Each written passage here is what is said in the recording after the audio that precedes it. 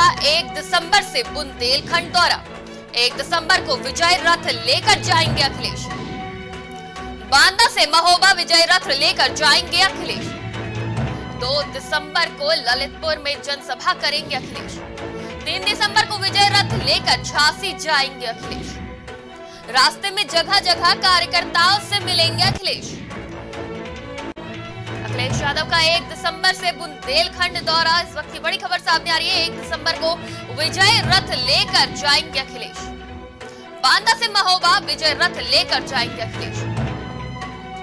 दो दिसंबर को ललितपुर में जनसभा करेंगे आयोजित।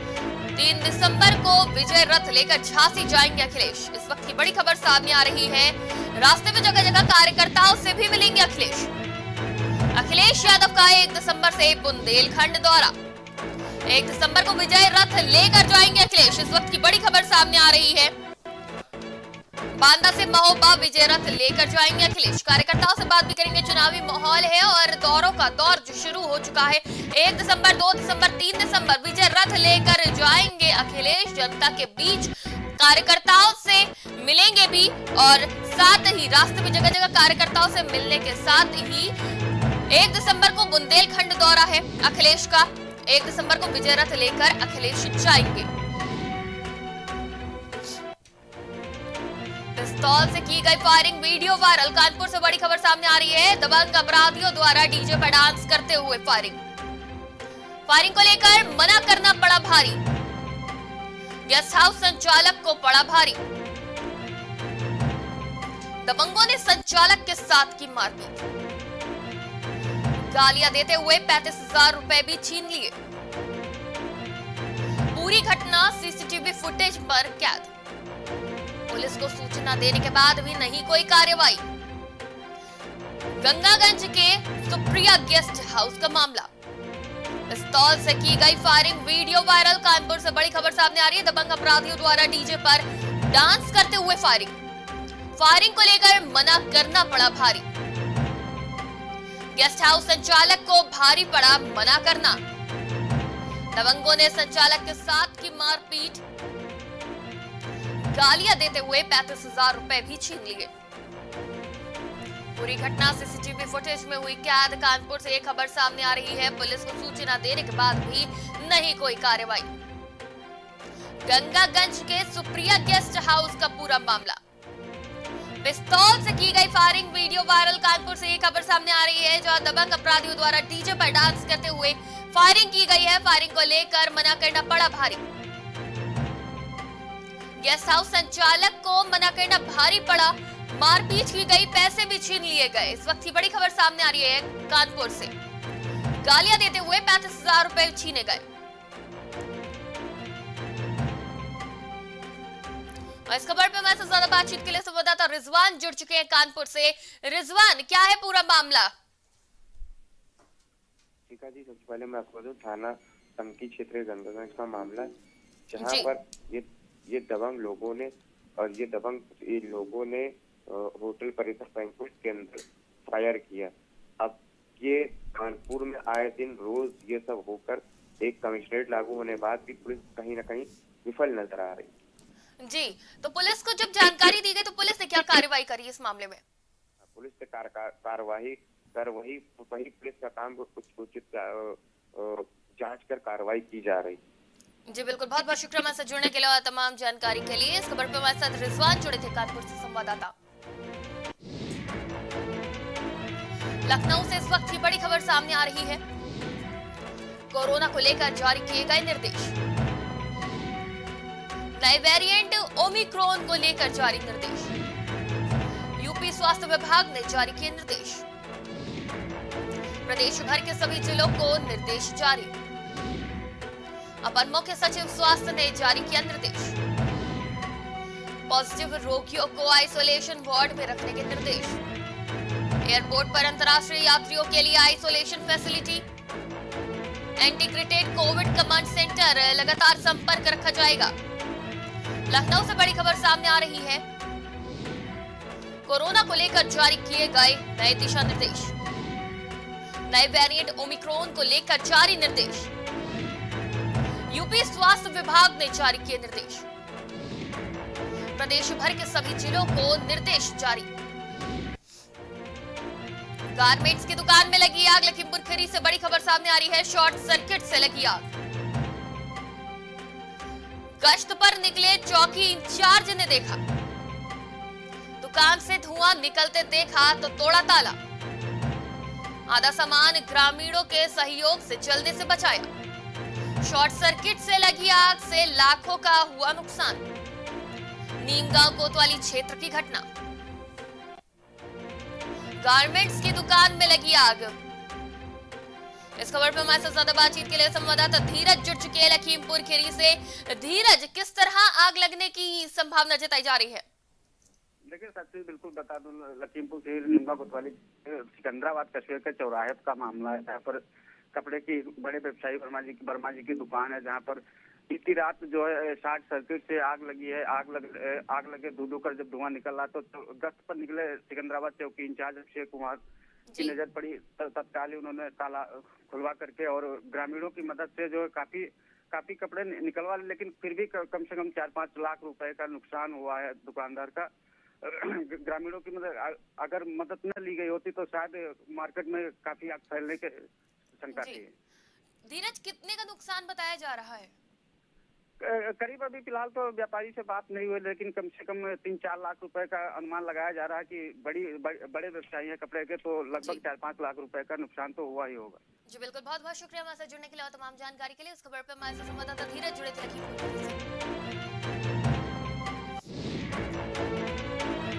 मथुरा में कोरोना के चार मरीज़ मिलने से हड़कंप। सबसे बड़ी खबर सामने आ रही है। जनपद में अभी तक महिला समेत आठ कोरोना पॉजिटिव। वृंदावन में लगातार लोग कोरोना पॉजिटिव मिल रहे वृंदावन में सात विदेशी महिलाएँ, एक पुरुष कोरोना पॉजिटिव। आश्रम को कंटेनमेंट जोन घोषित किया गया, बड़ी खबर सामने आ रही है। मथुरा में कोरोना के चार मरीज़ मिलने से हड़कंप। जनपद में अभी तक महिला समेत आठ कोरोना पॉजिटिव। वृंदावन में लगातार लोग कोरोना पॉजिटिव मिल रहे बड़ी खबर सामने आ रही है। वृंदावन में सात विदेशी महिलाएँ, एक पुरुष कोरोना पॉजिटिव। आश्रम को कंटेनमेंट जोन किया गया घोषित। मथुरा में कोरोना के चार नए मरीज़ मिलने से हड़कंप। इस वक्त की बड़ी खबर सामने आ रही है जनपद में महिला समेत आठ कोरोना पॉजिटिव वृंदावन में लगातार लोग कोरोना पॉजिटिव मिल रहे वृंदावन में सात विदेशी महिलाएँ, एक पुरुष कोरोना पॉजिटिव आश्रम को कंटेनमेंट जोन किया गया घोषित। मध्य प्रदेश से अपहृत छात्र को हाईवे पर पाया गया जनपद भिंड से अपहरण कर ले गए थे छात्र को। छात्र को टावा बरेली हाईवे पर फेंका। फरुखाबाद से खबर सामने आ रही है, नशीला पदार्थ सुंघाकर छात्र का किया अपहरण। राहगीरों ने पुलिस को दी सूचना। पुलिस ने छात्र को सीएचसी राजेपुर में कराया भर्ती। अपहृत युवक को जिला अस्पताल लोहिया किया गया रेफर जिला अस्पताल लोहिया में युवक का इलाज जारी। पुलिस मामले की जाँच में जुटी फरुखाबाद से खबर सामने आ रही है। थाना राजेपुर क्षेत्र का मामला। मध्य प्रदेश से अपहृत छात्र को हाईवे पर फेंका जनपद भिंड से अपहरण कर लाए गए छात्र। छात्र को इटावा बरेली हाईवे पर फेंका। नशीला पदार्थ सुंघाकर छात्र का किया अपहरण। राहगीरों ने पुलिस को दी सूचना। पुलिस ने छात्र को सीएचसी राजपुर में कराया भर्ती। फरुखाबाद से बड़ी खबर सामने आ रही है। अपहृत युवक को जिला अस्पताल लोहिया किया गया रेफर पुलिस मामले की जाँच में जुटी फरुखाबाद से बड़ी खबर सामने आ रही है। थाना राजेपुर थाना क्षेत्र का मामला बताया जा रहा है। मध्य प्रदेश से अपहृत छात्र को हाईवे पर फेंका। जनपद भिंड से अपहरण कर लाए गए छात्र। छात्र को इटावा बरेली हाईवे पर फेंका। नशीला पदार्थ सुखाकर छात्र का किया अपहरण। राहगीरों ने पुलिस को दी सूचना। पुलिस ने छात्र को सीएचसी राजेपुर में कराया अपहृत युवक को जिला अस्पताल लोहिया किया रेफर। जिला अस्पताल लोहिया में युवक का इलाज जारी। इस खबर पर मैं ज़्यादा बातचीत के लिए फरुखाबाद से संवाददाता सुंदरम जुड़ चुके सुंदरम, कब अपहरण किया गया था छात्र का? जिस हिसाब से जानकारी मिल पा रही है छात्र ने बताया कि आज वो सुबह कल सुबह जो भिंड जिला है वहाँ भूप का रहने वाला है। वहाँ से कोचिंग के लिए जा रहा था। तो कुछ युवकों ने कहा कि एक सामान है उसको ओमनी बैन थी उसमें रखवा दो। जैसे ही उस सामान को रखवाने के लिए बढ़ा तो उसको पीछे से किसी ने धक्का मार के पकड़ लिया। जी। फिर उसको बताया उसके द्वारा ये जानकारी मिली कि उसको कुछ याद नहीं है कि और डॉक्टर परीक्षण में बताया गया उसका नशीला पास सुनाया गया है। उसको फिर जब सड़क के किनारे लोगों ने यहाँ राजेपुर जो इटावा बरेली हाईवे पड़ा पाया तो पुलिस को सूचना दी और उसके बाद उसे लोकल जो राजेपुर सी वहाँ पे भर्ती कराया गया। उसकी वहाँ पर हालत थोड़ी सी नाजुक बनी हुई थी तो उन्होंने जिला अस्पताल लोहिया में रेफर किया गया है। मध्य प्रदेश पुलिस को भी सूचना दे दी गई थी और शाम लगभग नौ बजे तक उनके परिजन और मध्य प्रदेश पुलिस भी यहाँ जिला अस्पताल लोहिया आ गई थी और उसके बाद उन्होंने बच्चों को यहाँ छुट्टी करा के वो ले भी गए। जी। सुनरम क्या कुछ जानकारी किस वजह से अपहरण किया गया था छात्र का? हाँ इस बात की भी कोई पुष्टि नहीं हो पाई है और मध्य प्रदेश पुलिस और यहाँ की भी पुलिस जाँच में जुटी हुई है क्या घटनाक्रम रहा है। जी बिल्कुल, बहुत बहुत शुक्रिया हमारे साथ जुड़ने के लिए तमाम जानकारी के लिए। हमारे साथ फरुखाबाद से संवाददाता सुंदरम जुड़े थे। अवैध असला फैक्ट्री का संचालन, बड़ी खबर सामने आ रही है। गाँव बिसौला में चलने की सूचना प्राप्त हुई। सूचना पर टीम गठित कर मारा गया छापा, भारी मात्रा में असला बरामद। सभी तरह के असलहे प्राप्त पाँच अभियुक्तों को किया गया गिरफ़्तार। अवैध असलाह फैक्ट्री का संचालन। गाँव पिसौला में चलने की सूचना प्राप्त हुई। सूचना पर टीम गठित कर मारा गया छापा। भारी मात्रा में असलाह बरामद किया गया।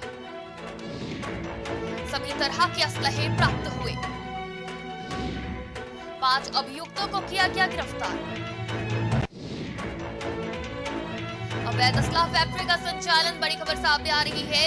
गाँव बिसौला में चलने की सूचना प्राप्त हुई है अवैध असला की फैक्ट्री सूचना पर टीम गठित कर छापा मारा गया। भारी मात्रा में असलाह बरामद किया गया।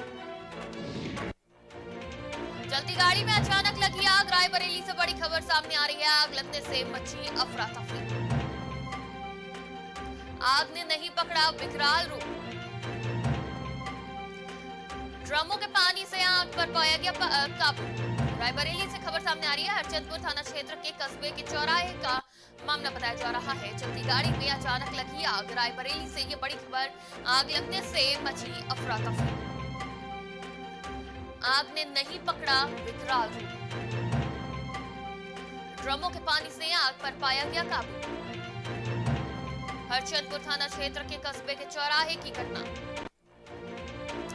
चलती गाड़ी में अचानक लगी आग। इस वक्त की बड़ी खबर सामने आ रही है जो रायबरेली से खबर सामने आई है। आग लगने से मची अफरा तफरी। आग ने नहीं लिया विकराल रूप। ड्रमों के पानी से आग पर पाया गया काबू। हरचंदपुर थाना क्षेत्र के कस्बे के चौराहे की घटना। चलती गाड़ी में अचानक लगी आग। आग लगने से मची अफरा तफरी। आग ने नहीं लिया विकराल रूप। ड्रमों के पानी से पाया गया आग पर काबू तस्वीरें देख सकते हैं आप किस तरह से चलती गाड़ी में आग लग गई, जिसके बाद लोग भागते हुए नज़र आए। और इस खबर पे हमारे ज़्यादा बातचीत के लिए संवाददाता ओम शंकर जुड़ चुके हैं रायबरेली से। ओम शंकर किस तरह गाड़ी में आग लग गई? जी ये जिला मुख्यालय 16 किलोमीटर दूर एक कस्बा पड़ता है हलचलपुर वहाँ पर ये गाड़ी जा रही थी जो लखनऊ की तरफ़ से रायबली आ रही थी। अचानक उसमें से आगे से बोनट के पास से धुआँ उठने लगा। आलन फालन में चूँकि कस्बे का मामला था अगल बगल में ड्रमों में पानी रखा था जिससे कि वहाँ के मौजूद कस्बे निवासियों ने तुरंत डालकर काबू पाया आग पर और एक बड़ी घटना होने से बच गई। जी तो क्या वजह का पता चल पाया कि गाड़ी में ऐसी क्या खराबी हुई थी जिसकी वजह से आग लग गई? नहीं प्रथम दृष्टिया जो है वो शॉर्ट सर्किट का मामला समझ में आ रहा है। क्योंकि गाड़ी धीरे धीरे चल रही थी कस्बे में। जी बिल्कुल। बहुत बहुत शुक्रिया हमारे साथ जुड़ने के लिए और तमाम जानकारी के लिए। इस खबर पे हमारे साथ रायबरेली से संवाददाता ओम शंकर जुड़े थे।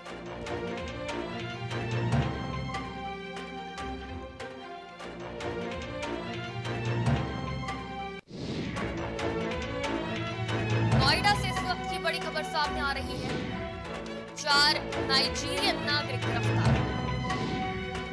नागरिक को दिल्ली से किया गिरफ़्तार। महिला से की थी धोखाधड़ी। धोखाधड़ी करके 27 लाख रुपए लिए थे लूट। नोएडा से इस वक्त की बड़ी खबर सामने आ रही है। चार नाइजीरियन नागरिक गिरफ़्तार। नागरिकों को दिल्ली से किया गया गिरफ़्तार। महिला से की थी धोखाधड़ी। धोखाधड़ी करके 27 लाख रुपए लिए थे लूट। नोएडा से इस वक्त की बड़ी खबर सामने आ रही है। चार नाइजीरियन नागरिक गिरफ़्तार।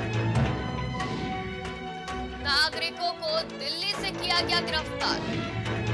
महिला से की थी धोखाधड़ी। धोखाधड़ी करके 27 लाख रुपए लूटे थे।